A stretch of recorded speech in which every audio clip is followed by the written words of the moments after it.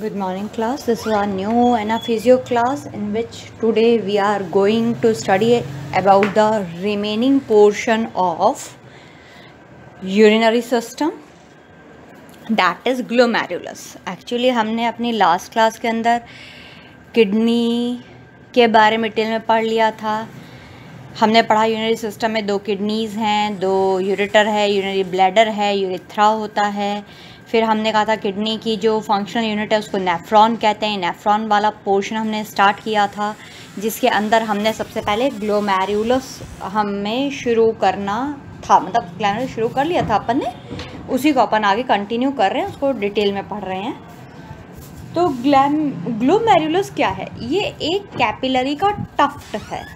मतलब कैपिलरी का एक गुच्छा है, जिसमें से, जिसके अंदर ब्लड सप्लाई आती है, वो ब्लड सप्लाई को लेता है। एफ्रेंट आर्ट्रियोल से आती है। रीनल सर्कुलेशन के एफ्रेंट आर्ट्रियोल से ब्लड सप्लाई आती है ग्लोमेरुलस के कैपिलरी टफ्ट के अंदर। ग्लोमेरुलर का जो ब्लड प्रेशर होता है, वो ड्राइविंग फोर्स प्रोवाइड करता है वाटर और सॉल्यूट्स के लिए ताकि वो छन जाएँ ब्लड में से और छन करके स्पेस में जाएँ, जिसको आप कहते हैं बॉमेंस कैप्सूल तो जो आपका ब्लड होता है, वो इस ग्लोमेरुलस के कैपिलरी टफ्ट में या नेटवर्क में आकर के छनता है। और ये काम ग्लोमेरुल के ब्लड प्रेशर से किया जाता है, जो कि ड्राइविंग फोर्स लगाता है वाटर और सॉल्यूट्स के ऊपर, ताकि ब्लड अच्छे से छन जाता है। इसके बाद जो बचा हुआ ब्लड जो छन चुका, वो बचा हुआ ब्लड पास हो जाएगा एफ़ एफरेंट आर्ट्रियोल से एफरेंट आर्ट्रियोल आया एफरेंट से था, गया इफरेंट आर्ट्रियोल से. ब्लड एफरेंट आर्ट्रियोल से आएगा ग्लोमेरुलस के अंदर कैपिलरी टफ्ट से छनेगा. ड्राइविंग फोर्स के द्वारा, जो कि ग्लोमेरुल का ब्लड प्रेशर है फिर वो छन करके इफरेंट आर्ट्रियोल से वापस निकल जाएगा. जो चीज़ छन गई, जो कचरा था जो वेस्ट मटेरियल था वो निकल गया और जो बचा हुआ पार्ट है, वो वापस इफ्रेंट आर्ट्रियल से होता हुआ ब्लड के अंदर चला जाता है। इफ्रेंट आर्ट्रियल थोड़ी छोटी होती है एफ्रेंट आर्ट्रियल कंपैरिजन में इसके अंदर हाइड्रोस्टैटिक प्रेशर जो है वो, ये ग्लोमेरुलस के हाइड्रोस्टैटिक प्रेशर को बढ़ा देता है। अब बॉमिन्स कैप्सूल इसको अपन ग्लोमेरुलर कैप्सूल भी कहते हैं। ग्लोमेरुलस के चारों तरफ़ एक बॉवल नोमा स्ट्रक्चर होती है बॉल नोमा स्ट्रक्चर प्याले की शेप की स्ट्रक्चर है, जो कि विस्ट्रल इनर लेयर की बनी होती है। ये visceral inner layer specialised cells की बनी होती है, जिसको आप पोडोसाइट्स कहते हैं। ग्लोमेरुलस के अंदर विसरल इनर लेयर होती है, जो कि एक स्पेशलाइज सेल्स की बनी होती है, जिसको आप पोडोसाइट्स कहते हैं। पेराइटल आउटर लेयर इसकी सिंपल स्क्वेमस एपिथीलियम की बनी होती है। तो एक अंदर की लेयर एक बाहर की लेयर इनर लेयर और आउटर लेयर इनर लेयर होती है विसरल आउटर लेयर होती है पेराइटल इनर लेयर होती है बनी हुई पोडोसाइट्स और आउटर लेयर बनी होती है सिंपल स्क्वेमस एपिथीलियम की। ब्लड में से फ्लूड जो है, वो ग्लोमेरुलस में आकर के फ़िल्टर होता है। पोडोसाइट्स की विस्टल लेयर के द्वारा और ग्लोमेरुलर फ़िल्टर फिल्ट्रेट जो है वो बनता है। वो ग्लोमेरुलर फिल्ट्रेट ही आगे जाकर के यूरिन को बनाएगा।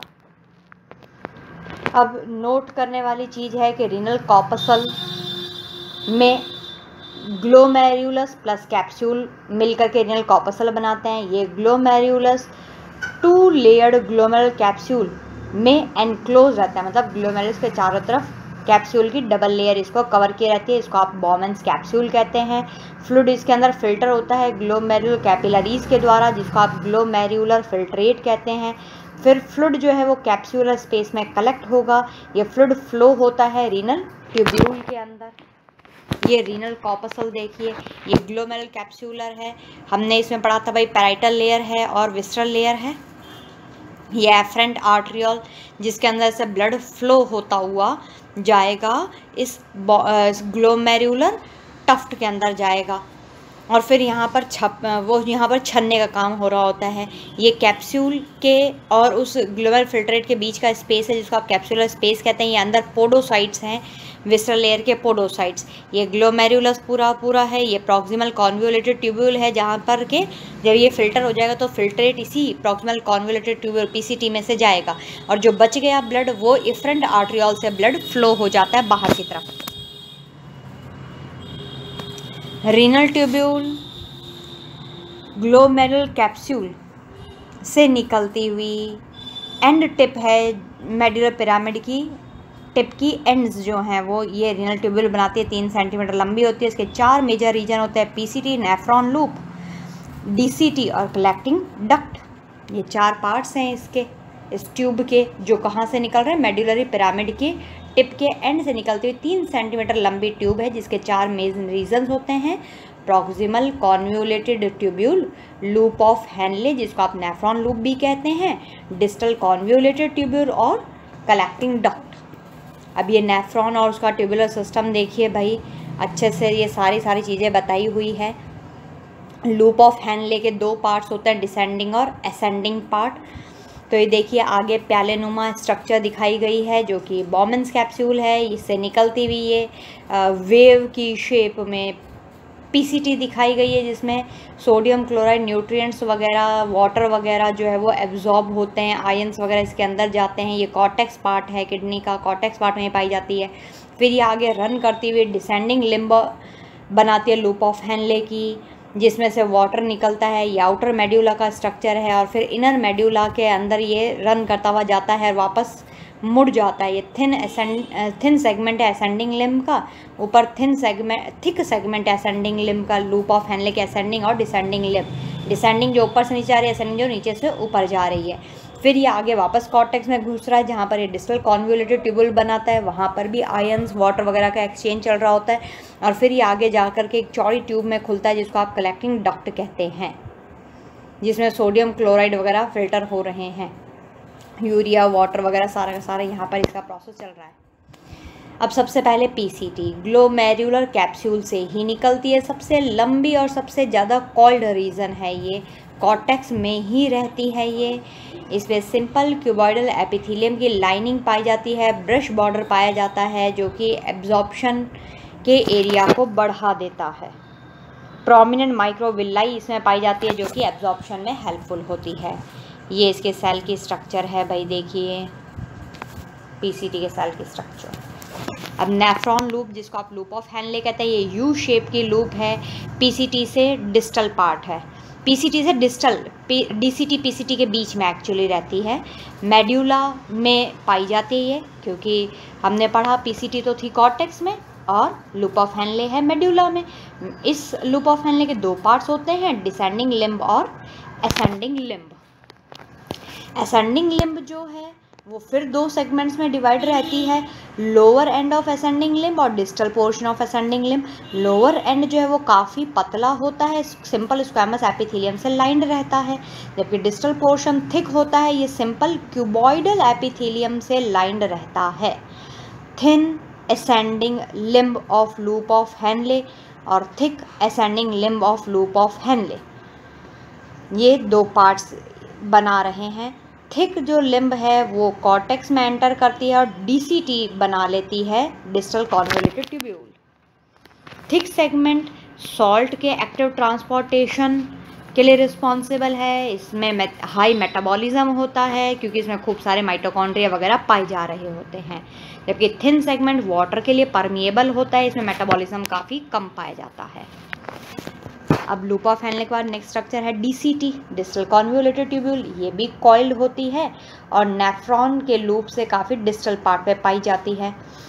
पीसीटी कंपैरिजन में छोटी होती है और कॉइलिंग भी इसमें पीसीटी से कम होती है और इसमें माइक्रोविलाई भी बहुत कम होती है। ये एफरेंट और इफ्रंट आर्ट्रियल के कांटेक्ट में रहती है और पेरिट्यूबल कैपिलरी के भी कांटेक्ट में रहती है।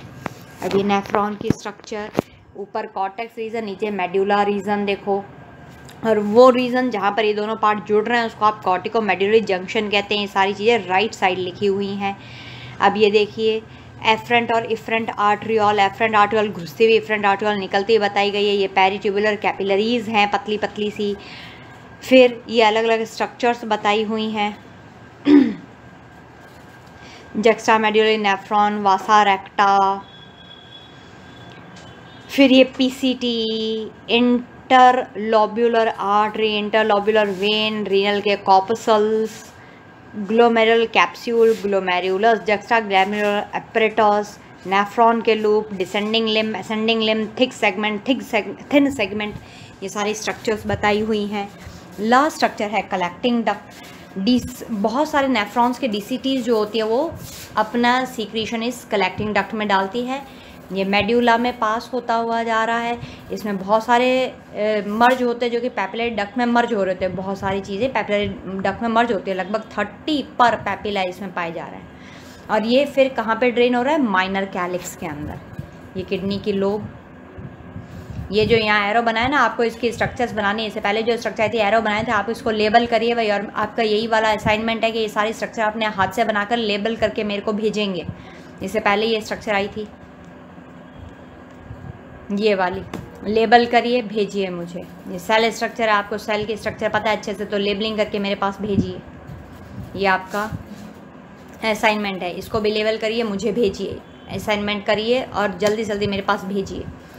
अब क्लासेस दो जनरल क्लासेस होती है नेफ्रॉन्स की कॉर्टिकल नेफ्रॉन और जक्स्टा मेडुलरी नेफ्रॉन्स ये क्लासिफाइड होते हैं लूप ऑफ़ हैनले के लेंथ के अकॉर्डिंग और रिनल कापसल के लोकेशन के अकॉर्डिंग सभी नेफ्रॉन्स जो है उनका खुद का रिनल कॉपसल होता है कॉटेक्स के अंदर।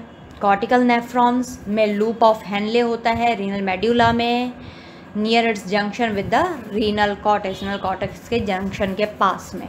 लूप ऑफ़ हैंडले जो जक्स्टा मेड्यूलरी नेफ्रॉन्स का होता है वो रीनल मेड्यूला के डीप में पाया जाता है। तो कहाँ पे क्या पाया जाता है उसकी स्ट्रक्चर बताइए अपन ने कहा ना लोकेशन के बेसिस पर अपन कर रहे हैं। तो बस, अब इसके साथ ये नेफ्रॉन की स्ट्रक्चर यहाँ पे ख़त्म हो गई है।